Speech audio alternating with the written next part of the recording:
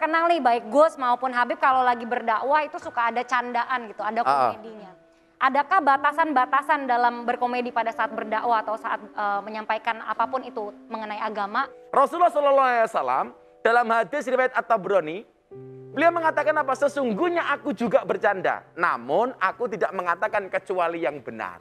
Pertama nggak bohong.